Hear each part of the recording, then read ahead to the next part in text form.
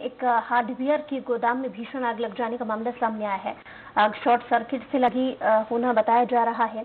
आग बुझाने के लिए ग्रामीणों ने कड़ी मशक्कत की। फायर ब्रिगेड की गाड़ी आसपास नहीं होने के कारण किसी भी प्रकार की सुविधा नहीं मिल सकी।